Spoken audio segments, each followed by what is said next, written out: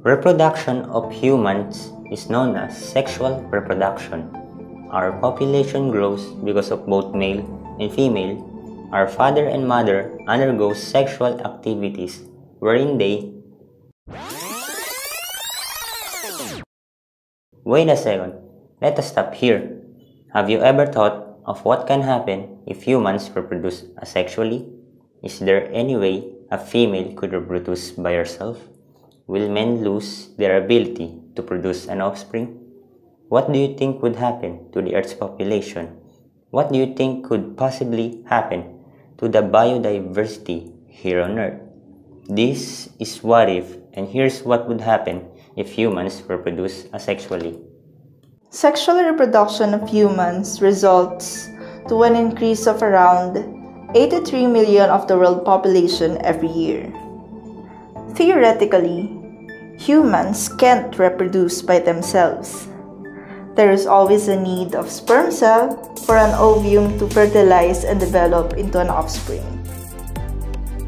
Imagine what would happen if we reproduce in a way ants do. In year 2011, ants population is estimated at 500 trillion, outweighing our population in biomass. Ants reproduce through the process called parthenogenesis. Parthenogenesis is a form of asexual reproduction where females lay an unfertilized egg that develops into clones without the need of a sperm cell. Wait, what? Does that mean that men lose their ability and purpose in human reproduction and woman could literally be a strong independent woman? Does that mean that men's sperm will just be a plain organism with a head and tail? Okay, that's a bit nasty.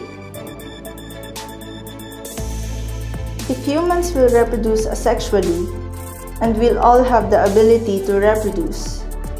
All of the population in the world would technically be females. Not to mention, the world's population will drastically increase. Increasing the population in tremendous amount would cause humans to experience multiple diseases.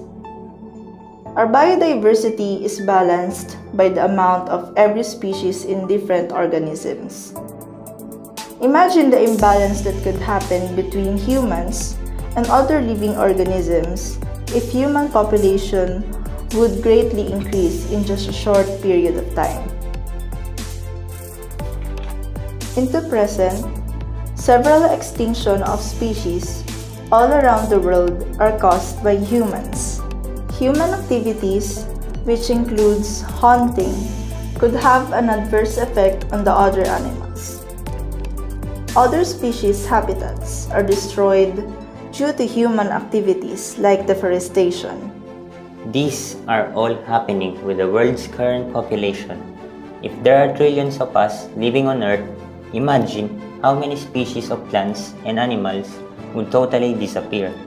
Doubling or tripling the human's population would mean an increase on the destruction of nature where other animals live. Do you think humans can survive living on Earth while continuously reproducing asexually?